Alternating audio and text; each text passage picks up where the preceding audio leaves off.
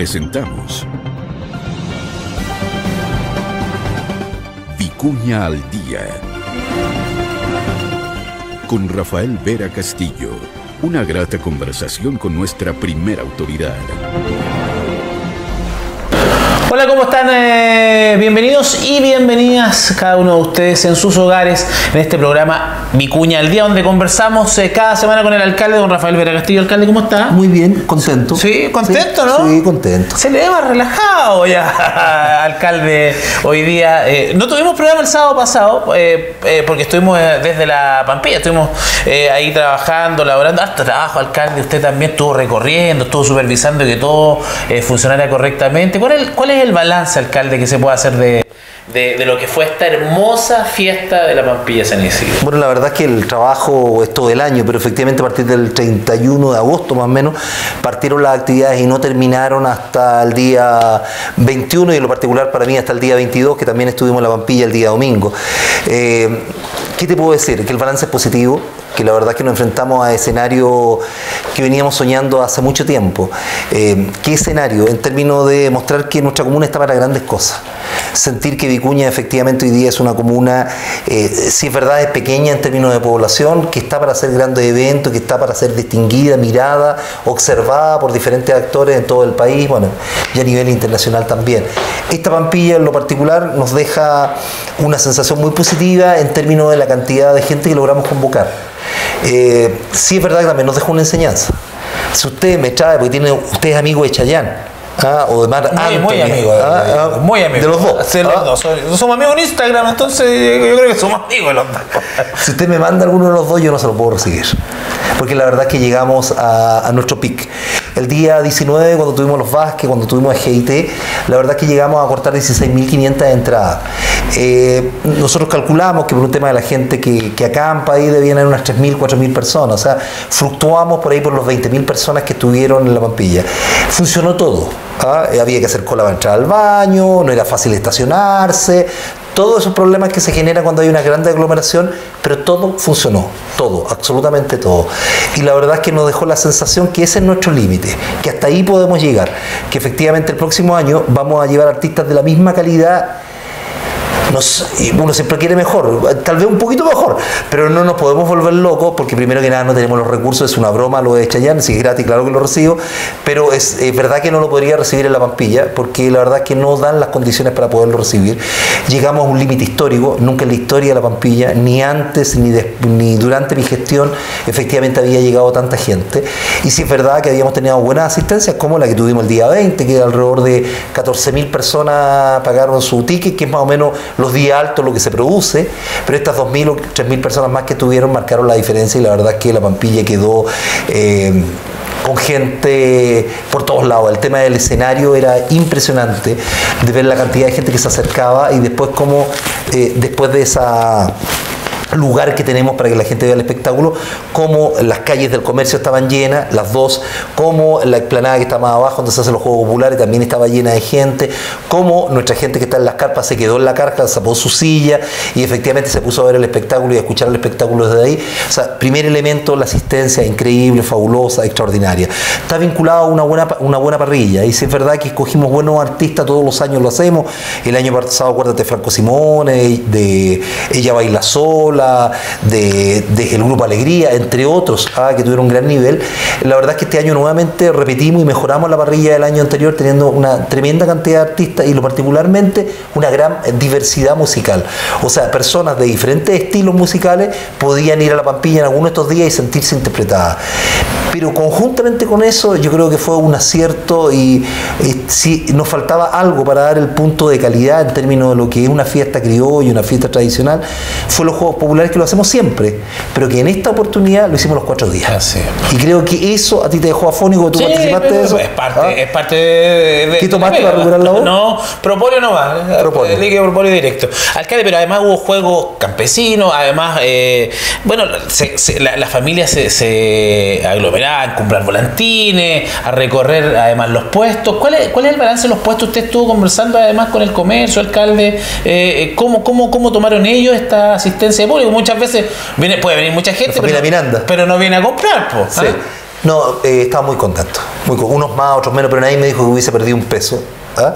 Al contrario, todo el mundo me dijo que ganó y que le fue muy bien, que la experiencia la van a volver a repetir. Eh, y era el año pasado cuando nosotros decíamos que la gente había ganado dinero. eh, este año yo creo que aún ganó más, en su gran mayoría, porque claro, tiene que ver con la diversidad del producto, con la competencia del, local de al lado, no sé, la familia Los Dubos, que ahí donde está el, el colonial allá, perdón, el colonial, el coloso tropical allá en Villaseca, todos los años están ahí. Me recuerdo que el año pasado, ¿no? Que habían unas críticas en términos de los valores. Bueno, hoy día, alcalde, salió todo perfecto. Lo conversamos, salió genial, estaban muy contentos. Se dan cuenta que los valores que nosotros cobramos no tienen ninguna relación con las utilidades que ellos van a alcanzar. Nosotros eh, efectivamente tenemos que financiar la Pampilla y logramos con el apoyo de ellos, con el apoyo de la gente que paga la entrada, con el apoyo de los de los de, estas de los de las variedades que son como 120 locales, de aquellos que colocan juego y que pagan, bueno, con todo ese dinero, más dos aportes importantes que tenemos de la empresa privada, nosotros una vez más todavía no llega el balance final, pero una vez más puedo decir que la Pampilla está financiada. Serán dos millones para acá, dos millones para allá, a favor o en contra, pero efectivamente la Pampilla se financió completamente. Y eso es, eh, en ningún lugar de Chile ocurre, nosotros tenemos la Pampilla de nuestros vecinos, tampoco ocurre la Pampilla de nuestros vecinos, Eh, la verdad es que los precios no tienen ninguna relación con nuestros vecinos, que cobran, no sé, pues 7 mil pesos los vehículos, nosotros cobramos 3.500, que cobran 1.500 en la entrada de los peatones, nosotros cobramos 1.000, que cobran 10 mil pesos por estacionamiento adentro, nosotros no cobramos por, por estacionamiento adentro, o sea, la verdad es que es una Pampilla muy, muy económica.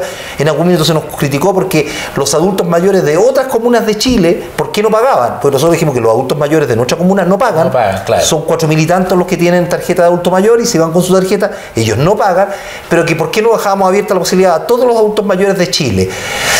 La verdad es que lo podríamos hacer, pero tendríamos que subir el valor de la entrada, porque lo que hemos buscado siempre es tener un espectáculo tremendo, gran parrilla, un- de limpieza, los baños, la gente felicitaba el tema de los baños, felicitaba que en un lugar como Vicuña, llegando a cinco minutos del centro, tenga un lugar de estas características, que los tacos sí esta vez crecieron, fueron de 6 cuadras, 7 cuadras, no de 20 o 30 como hay en Coquimbo, pero que efectivamente la gente no está acostumbrada a estos tacos y se demoró 45 minutos en avanzar esa cantidad de cuadras, lo que es una complicación, que el próximo año, si es verdad que la infraestructura que tiene la Pampilla ya, por lo menos, perdón, de Calingasta no la podemos modificar, Porque las calles son esas calles, pues no se pueden ampliar más. Pues pero no- está- estamos ideando, estamos Sí. ideando, estamos ideando fórmulas para tener personal que nos, con walkie-talkie que nos vaya informando en qué calles están desocupadas, informarle efectivamente a, a los vehículos, eh, arrendar algunos lugares para que efectivamente existan estacionamientos o que lo utilicen ellos como estacionamiento. Pero estamos buscando la fórmula, vamos a hacer terrazas probablemente en los cerros,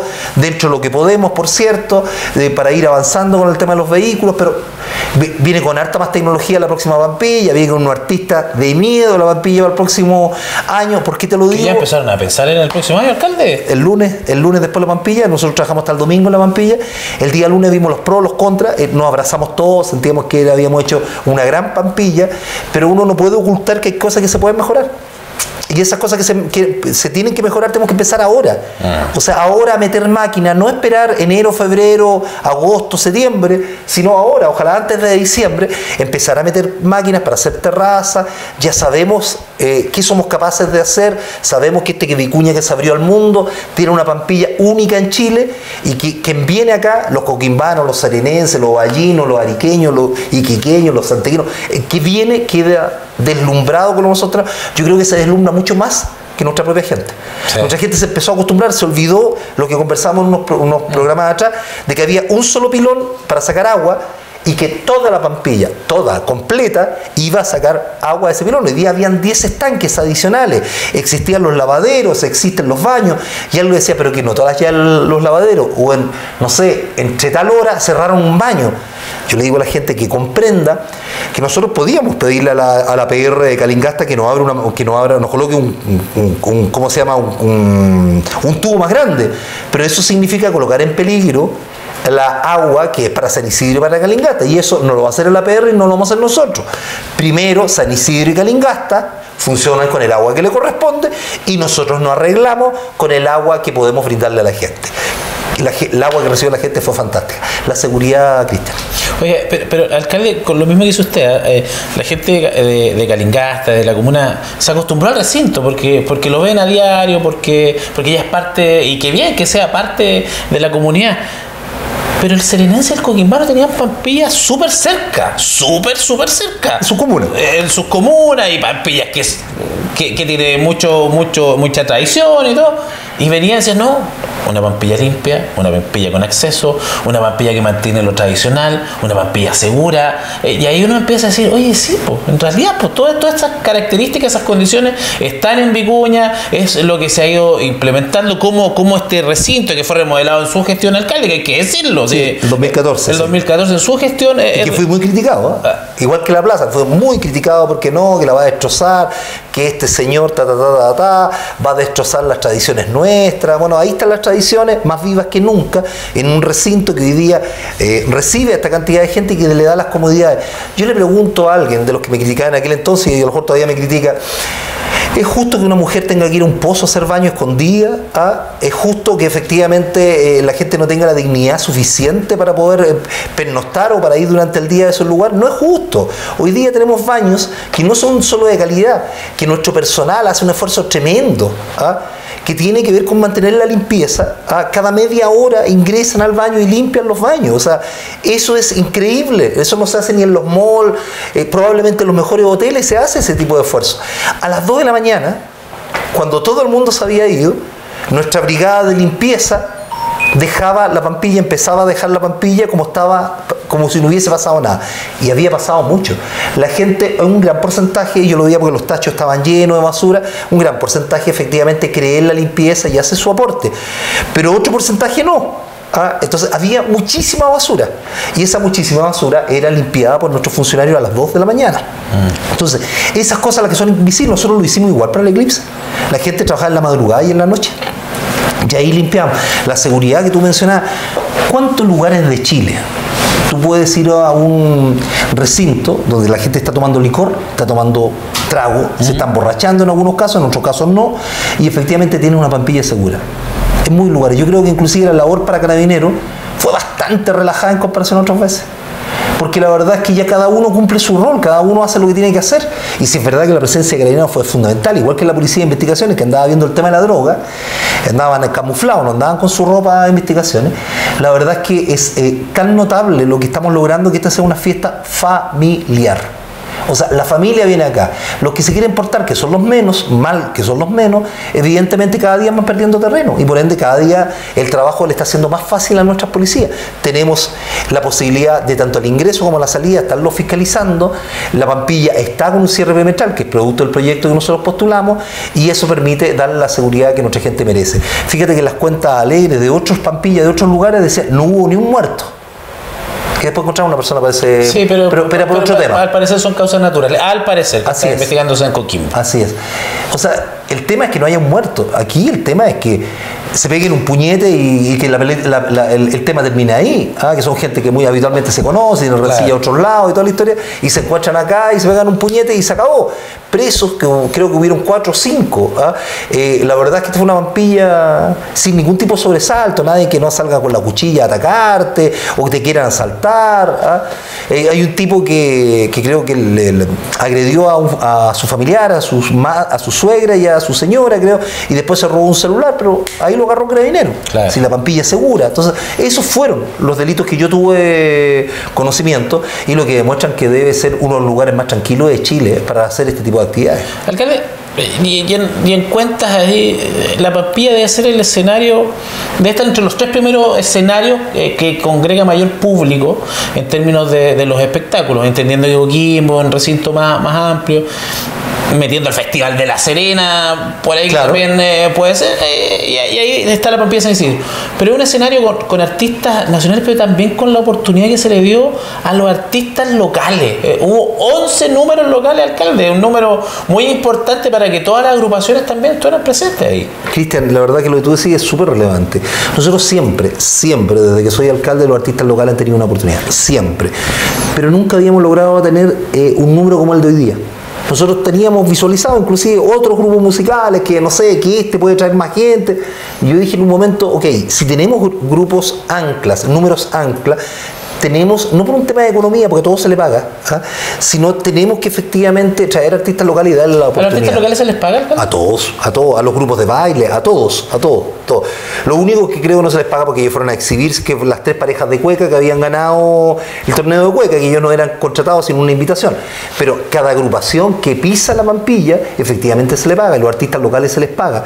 Y la verdad es que vimos el premio hace mucho, mencionar a uno siempre es complejo, no me quedo un guitarra de alquina, el tremendo show, me quedo, eh, bueno, ese día todos los artistas locales que estuvieron fueron fantásticos. Al primer día hubieron muchos artistas locales, Chapilcano después del día 21, Carlos Díaz con una actuación eh, notable porque nos sensibilizó a todos, todos nos emocionamos con Carlos Díaz y alguien dirá, sí, que es nuestro, sí, pero la gente de La Serena y Coquimbo, que por momentos era, era mayoritaria, ¿También? aclamaba, Sí. aplaudía, entonces hemos visto cómo nuestros artistas han crecido, las, las diferentes agrupaciones musicales, se le entregó el premio a la agrupación eh, A la folclórica más importante, más reconocida, la Miro Alcayá, una tremenda votación de la gente, bueno, ellos estaban emocionados, contentos, arriba del escenario y todas las agrupaciones, la verdad es que esto fue fantástico en todos los sentidos, ya como dije el lunes pasado ya nos reunimos ya para evaluar y para ir viendo lo que tenemos que hacer en la próxima Pampilla, que estoy seguro que va a ser mejor, tengo certeza, si el clima nos acompaña, hay variables que uno no puede manejar, pero si todo funciona como, como, como en términos normales, va a ser mejor que la Pampilla que acabamos de hacer, que debe ser, eh, aquí la gente me puede golpear si quiere, eh, debe ser de una de las mejores Pampillas de la historia. Ah, yo no, no tengo tanta, yo tengo memoria de los últimos 20 años, pero me recuerdo esa Pampilla, como decía, con un pilón, con desorden, sin baño, eh, con artistas, con muchos dobles, con artistas de algunos de nivel, pero no tan nivel como el que estamos trayendo hoy día. Yo creo que lejos de esta Pampilla ser de las mejores de la historia de la comuna. Yo, yo- bueno, alcalde, eso del día del único confidencial, ciertas cosas, ¿eh? se revisan todos los comentarios, usted mismo los revisa, los buenos, los malos, más o menos, Que las sugerencias eh, para, para ir mejorando. Había ahí, y yo sé que, porque lo conversamos el lunes, eh, algunas eh, mamitas que pedían una zona de amamantamiento también para poder estar. Usted ya, lo, ya es. todo Todas las sugerencias han sido tomadas, alcalde. Eso, a eso es lo que usted No tenemos una bola de cristal, nos equivocamos también y la verdad es que lo que tenemos que hacer cada día es mejorar esta pampilla. Si un día hubieron 16.500, ir apostando, que es casi imposible, a que los demás, porque eso es full total, o sea, no cabe nadie más, que la mayoría de los días nos acerquemos a esa cifra. ¿Por qué me decir la gente? ¿Por qué quiere que se nos llene la comuna de gente? Porque hay gente que necesita generar comercio. Los 20 125 puestos que estaban ahí, eh, evidentemente su economía doméstica mejoró, producto de la Pampilla. Los 20 locales comerciales de, de comida también, también Dieron mejoraron empleabilidad también. a tanta gente que viene a trabajar. Entonces, en, lo- en los momentos más duros de la comuna, donde eh, lo hemos dicho, hemos visto tanta gente desempleada, generamos una actividad donde la gente no cobra ah, lo que habitualmente cobra, cobra el doble, el triple o más, porque está trabajando un día donde todo el mundo está descansando. Entonces, eso le genera llegar a fin de mes probablemente en forma más tranquila, con haber ganado más dinero. Lo mismo ocurre con nuestros funcionarios municipales y los colaboradores que vienen de otros lados que también nos vienen a ayudar, que no se le paga más que el resto del año. Eh, en algunos casos, y lo decía, ¿cuántos, eh, ¿cuántos de los que me están viendo en la tele están disponibles a renunciar durante siete años consecutivos? Siete años consecutivos a no tener fiestas patrias. ¿Cuántos? Alguien me dice, si me pagan bien, yo renuncio. O sea, lo hago. Perfecto. Siete años, a lo mejor lo empiezan a jugar y otros dicen, no, sí lo hago. Pero no son muchos. Claro. No son muchos porque significa un compromiso, un amor por lo que uno hace y un abandono a la familia, claramente. Yo, el único asado que me comí fue el día domingo de la tarde después de la Pampilla. La Pampilla estuve hasta la una y media, dos. Y de ahí me fui a la casa, me tenían el carbón prendido, así que almorzamos como a las cuatro y media, cinco de la tarde. Pero efectivamente el asado lo hice yo porque era mi responsabilidad. Y dije, este asado lo hago yo, pero si me quieren ayudar con el, con el carbón, le damos. Y la verdad es que almorzamos muy tarde, pero muy contento porque me fui de la Pampilla con la tranquilidad de que todos los servicios estaban funcionando. Le pedimos a nuestros chicos que está alrededor de las 5 de la tarde tuvieron los baños abiertos, que la policía no se fuera, que siguiera dando ronda. No, todo fantástico. Alcalde, bueno, eh, cerremos tema Pampilla. Eh, no, no sé si hasta el próximo año. ¿ah? Esperemos tenemos que. eh, bueno, sí, hasta el otro año, pero. Usted, usted no le gusta artista, pues ya los tengo No, aquí. sí, ya. no, por eso, por eso espero que ahora diga aquí primero los artistas que va a tener para el próximo año. No lo vamos a hablar hoy día porque hay que tener contratos firmados, si no se sube mucho los, los, eso es. los- precios. Nosotros teníamos hace fácil dos meses antes de la Pampilla los artistas, todos los artistas listos, todos. Por eso cuando la gente me decía, ¿y por qué no traen este grupo local? ¿O por qué se nos venía un productor y nos ofrecía artistas? No, si estamos cerrados, qué rato.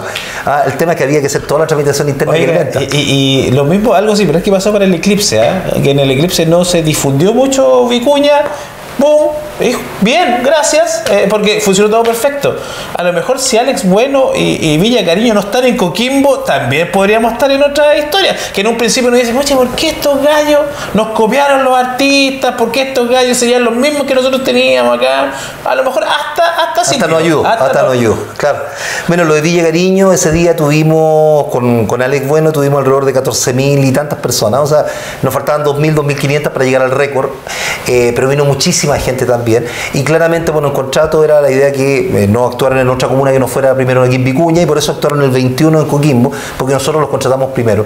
Creo que lo decíamos en el programa pasado, cómo cambia todo, ¿ah? No solo Vicuña, ¿ah? que Coquimbo nos saque los artistas, Claro. cuando siempre nosotros miramos qué trae Coquimbo, a ver si lo podemos traer un día para acá. Pero muy bien. Bueno, se está haciendo bien. Cerremos, alcalde, lo de la Pampilla, porque esta semana, eh, además, volvió muchas gestiones, las gestiones habituales de toda la semana. Eh, Bueno, yo- un- un- algo que me dejó la pampilla, me dejó la boca rota. Sí, Ah, sí, ah, bueno, la calor, insolación ahí, Yo creo que el sol, alcalde, Sí, la falta, de la falta de hidratación, falta, falta de líquido. Eh, y esta semana eh, estuvo una reunión importante con CG, porque hay un problema que, que, que se ha manifestado patentemente en, en la comuna, que son cortes eh, de electricidad, algunos más prolongados, unos menos prolongados, pero que generan eh, dificultades en el normal funcionamiento eh, de Vicuña Alcalde, y usted fue a manifestar precisamente la molestia. Sí, fue una hora casi, fue una reunión de casi dos horas. Nosotros llegamos a las 4 de la tarde y salimos como 10 para las 6. Eh, una reunión necesaria. La verdad es que nosotros habíamos, en los últimos 30 días, eh, teníamos calendarizado que habían habido cuatro cortes. Lo curioso es que mientras teníamos la, la reunión, se produjo otro corte más. ¿ah? Corte de luz para el sector de la compañía, hasta Rivadavia, ahí por los pueblos, el- el Vicuña Centro no. Eran alrededor de dos mil y tantos clientes los que estaban sin luz en ese momento. Eh, entonces no pudo ser más oportuno el corte. Sí, es verdad que los cortes de luz siempre son inoportunos, en esta oportunidad fue oportuno. Yo llegué a la casa, no había luz en mi casa, pero efectivamente llegué dando buenas noticias. ¿Por qué? Porque efectivamente eh, no nos podemos quedar solo en la denuncia, sino buscar solución. Los primeros 45 minutos, esto lo están grabando, no debería ser, pero un poco uno golpea, dice que muestra su malestar. Y después, el resto de la reunión, bueno, ¿cómo buscamos soluciones? Si esto no basta, porque sé que la institución del gobierno, ah, para fiscalizar, declaro mi ignorancia. No sé si fiscaliza, pero nunca he tenido ni una sola información de una multa, alguna cosa, ah, nada. Y si es verdad que el otro día, al otro día me escuchó parece el diputado Fuenzalido, me vio en, la, Las en- redes sociales. en las redes sociales, porque él lo hizo un día después, le dije le dice a, CGE que haga su trabajo. A la SEC, a la Superintendencia de Electricidad y Combustible. La CGE está hablando de la, De la compañía. de la compañía. A la SEC, a la, SEC, a la Superintendencia de Electricidad y Combustible, ¿ah? Eh, le dice, vaya a hacer su trabajo, fiscalice. Qué bueno, qué bueno que lo hagan. Pero la verdad es que más que sacar multa, que es un tema que lo verá la SEC si lo hace, eh, a nosotros nos importa buscar soluciones. Y nos trajimos una solución bien potente. Nos trajimos un generador que en cinco meses más llega de un mega. En palabras simples, 1.500, 1.800 casas podrían ser re- respaldadas con ese generador. ¿El que toma el eclipse alcalde o no? Ese es de 700, es similar. Ah, es más grande. Ese es chiquitito. Perfecto. Este es de un mega, es más grande que el del Eclipse y se va a ser colocado en Vicuña. Pero la gente de los pueblos que no se asuste. Si el corte es en Vicuña, efectivamente 1.500, 1.800 casas van a ser respaldadas justamente con ese generador. Pero si el corte no es en Vicuña, se produce un sistema de anillos que ellos generan, que no estaba para el eclipse, pero que ellos van a generar un sistema de anillos que efectivamente la electricidad, si Andacollito, Diaguitas, el Arenal, la compañía están sin luz, les va a llegar a esas localidades. Lo mismo, las menciono por mencionar algunas. Ah, lo mismo para el sector costa, por cualquier lugar. O sea, esa electricidad se puede ocupar en cualquier lugar de la comuna. Primero tiene el casco antiguo, que ahí donde está instalado, pero si el casco antiguo no está pidiendo la electricidad, esa electricidad se va a solucionar el problema de otros lugares. ¿Por qué cinco meses? Porque la decisión que la estaban analizando, bueno, producto de esta reunión se tomó, me dijo, ok, yo me reuní con la máxima autoridad de la zona norte de CGE y él me indicó que efectivamente, ok, alcalde, mi palabra, esto se compra. Deme cinco meses para comprarlo porque esto se manda a hacer al extranjero. Se compra el extranjero y se manda a hacer con las indicaciones que nosotros requerimos. No es que esté hecho el generador y les vaya a buscar la orden de compra hace unos 30 días y nos mandan el generador. No, esto se manda a hacer. Entonces me dijo, en cinco meses yo le puedo responder. Ya, ¿y qué hacemos ahora? Le digo. Me queda mirando, claro, me dice, pero si el generador está. Sí, pero ¿qué hacemos ahora? La poda de árboles es fundamental. Me dice, tengo 500 podas de árboles para la región, pero yo necesito que vaya a Vicuña. Necesito que se dedique un mes, tres semanas a Vicuña, a podar árboles en Vicuña. Y alcalde, me comprometo en una semana más a tenerlo de equipo y efectivamente usted con su equipo nos indica también los lugares más importantes y nosotros vamos a ir a cortar a Vicuña. También le hablo de un tema que eso es cuando uno ya empieza, cuando empieza a ganar, ya empieza a pedir Sí, más cosas. sí. Tengo sectores que no están iluminados en la comuna, tengo sectores que están sin eléctrica, en la- sin electricidad en la comuna. Que son sectores pequeños, no, no estoy hablando de carretera, estoy hablando de pueblo, estoy hablando de quebrada, algunos sectores, bueno, veamos uno a uno, hagamos el levantamiento conjuntamente con el municipio y nos colocamos de acuerdo. A lo mejor no lo puedo financiar todo yo, alcalde. Y yo le dije, mira, soy mal jugador de cartas. Si yo también estoy dispuesto a financiar algo, le digo. Lo que no estoy pu- dispuesto a financiarlo todo. Claro. Porque siento que es una responsabilidad de ustedes también. Entonces me dice, bueno, nosotros entregamos el servicio, pero las postaciones muchas veces son financiadas por el gobierno regional. Sí, pero estamos hablando de postaciones pequeñas. Usted me financia un lugar, yo financio el otro. Y así nos vamos. Ok, me dijo, hagamos la, la ¿cómo se llama? El levantamiento. el levantamiento total ah, de lo que usted me está pidiendo, de lo que yo creo que puedo hacer y nos colocamos de acuerdo. Trato hecho. Así que yo creo que aquí a finales de octubre ya tenemos la claridad de qué vamos a pavimentar, o sea, qué es lo que vamos a iluminar y dónde vamos a colocar electricidad. Algunas cosas, te insisto, a costo del municipio, otras costas ah, de CGE, pero se va a hacer. Alcalde, bueno, y esto, y este es el tema con, con estos servicios básicos, ¿ah? Eh, y, y a lo mejor queda la confusión porque en algún minuto fueron del Estado. Pero, pero hoy día el municipio, usted no tiene nada que ver eh, directamente con eh, los cortes de electricidad, como no tenía nada que ver con los como municipio, lo digo, con el tema de, los olores de las aguas, como no se tiene nada que ver con, con el hospital, que, que también es otra la institución que se hace cargo para el alcalde, ¿no? A ver, en tema de la electricidad, la gente va a decir, pero si al alcalde le fue tan bien, ¿ah? ¿cómo usted dice que no tiene nada que ver? O sea, me, me gustaría que me fuera mejor. O sea, que hoy día yo le pudiera dar certeza a mi comuna que no van a haber más cortes por árboles ni por, ni por loros Pero chicago. usted no le puede exigir a la No empresa. tengo ni una forma de exigir, pero ni una, ni una. Lo único que yo utilizo es de alguna manera la potestad que me entrega la gente de representar a los vecinos de mi comuna, que me reciba y que nos sentemos y que con criterio y con respeto podamos avanzar. Por eso decía, si yo no me quiero aprovechar de ustedes, si yo tengo que financiar algo también lo voy a hacer. Pero hagámoslo en conjunto, o sea, la electricidad que llegue a todos los hogares para mí es fundamental, que las luminarias cuando la gente camina estén funcionando es fundamental. Entonces, bueno, con ello avanzamos de esa manera, obtuvimos una muy buena recepción en esa conversación y yo tengo la fe de que vamos a cumplir. Cu- Cuestión que con Aguas del Valle nosotros tuvimos que ir a protestar a Aguas del Valle, pero Aguas del Valle se comprometió a algo y lo cumplió. Voy a decir medianamente, no, lo cumplió. O sea, hoy día los olores que existen en, en la planta de Agua del Valle son los mismos que ocurrían hace un año atrás. No son más ni menos, son los mismos olores. Que ese fue el compromiso de Aguas del Valle. Eh, nosotros hicimos un recurso de protección. Y yo le lo dije en el consejo, y el consejo se graba y se transmite. Lo dijo el abogado, esto no va a servir de nada. Tú sabes que hasta la semana pasada el recurso de protección todavía no le llegaba a Aguas del Valle, o sea, todavía no lo notificaban a Aguas del Valle, cuando el olor se fue hace como un mes atrás, y no le llegaba todavía. Entonces, lamentablemente las leyes chilenas, y ahí cuando son las elecciones parlamentarias, que cada uno reflexione sobre esto, las leyes chilenas sirven de poco para solucionar estos problemas. Inclusive, nos llega de la superintendencia ambiental nos llega una carta en la cual dice que ellos no pueden medir los olores porque no tienen los instrumentos para eso y la, la normativa vigente en Chile no castiga los malos olores. ¿Te cae en la cabeza eso? No, no. Eso lo hace, lo hace la superintendencia de, de ambiental, o sea, la máxima autoridad ambiental de nuestro país nos dice que no nos puede entregar herramientas para hacer otro- algún otro tipo de demanda.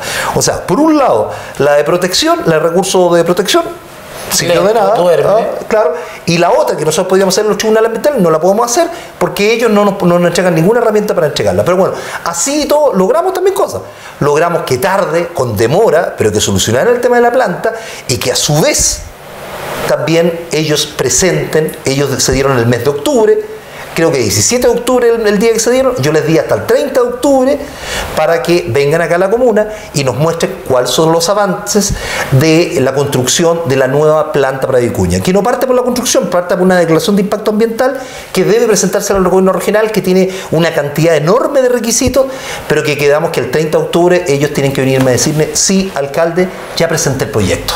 Y eso es un avance eh, colosal, porque hace cinco años atrás, cuando a mí me indicaron que esta planta se iba a hacer, la declaración de impacto ambiental en dos años se iba a presentar, se cambió la ley, bueno, se pudrió todo, como podría decir alguien, y no se logró, y ahora estamos a punto, a punto, yo tengo fe que en octubre va a ingresar la declaración de impacto ambiental. Y lo que decías del hospital, el otro día veía en el Facebook... Eh, Emma Vigorena, parece que se llamaba la chica que se comunicó conmigo por intermedio Facebook. Bueno, me hacía la crítica, me decía, gastan tanto en publicidad y no gastan en el hospital. No sé a qué publicidad se refiere, pero nos hicimos amigos, no peleamos.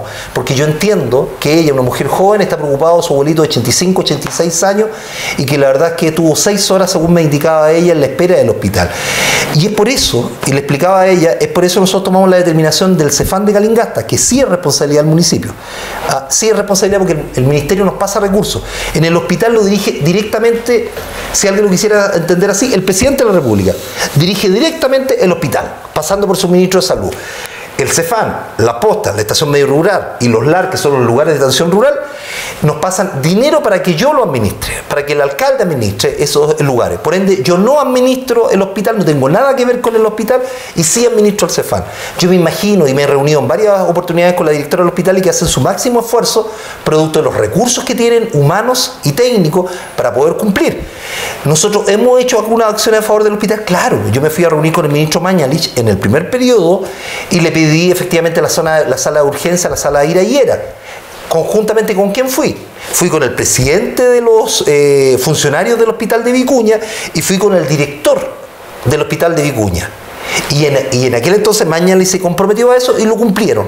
Lo, claro, terminó, o sea, hizo el diseño, todo, lo tuvo que hacer la administración de bueno, de Bachelet en definitiva, pero él, cumplió con presentar toda la documentación que se había comprometido con nosotros. Entonces, nosotros podemos hacer presión, podemos hacer gestión, la hacemos siempre. La gente no lo sabe porque no lo publico, no voy siempre, pero voy a los consejos consultivos también de salud, he ido dos o tres ah, en estos últimos años. Hay concejales que van en forma permanente, la presidenta de la Unión Comunal de Juntas de Vecinos va a, que es Margarita, o va, o va algún representante de ella, va a esos consultivos y se plantean estos problemas, pero también en favor del hospital también quiero decir que cuando nos muestran los reclamos y las felicitaciones están pareja. Tantas felicitaciones, tantos reclamos. Y a mí me da la impresión que los reclamos, por lo que yo veo en la web y lo que la gente me, me informa, deberían arrasar en términos de cantidad de reclamos. Pero ocurre que me da la impresión que hay una cifra negra, igual que en la delincuencia, donde la gente no denuncia. Y dice, ¿para qué voy a denunciar si esto no va a servir nada? ¿Cómo van a saber? Porque esta documentación se va al Ministerio de Salud, al, al, al, a la Dirección de Salud Regional, y ahí se toman medidas mediante las denuncias que se hacen. Pero si la gente no denuncia, eh, la, la directora legítimamente me podrá decir, no, si estamos equiparados cuando la realidad me da la impresión que no es así. Entonces, cuento corto, nosotros hoy día tenemos un CEFAN, que lo administramos nosotros, no es para que la gente se asuste, pero para que sepa, 72 millones de pesos le sale al municipio de Vicuña tener al, al, CEFAN funcionando sábado y domingo completo y tener las tardes de lunes a viernes funcionando. 72 millones de pesos. ¿Y saben para qué lo hacemos? para que atienda efectivamente aquellos casos a que el hospital hoy día no da abasto, que la gente vaya a ocupar el CEFAN.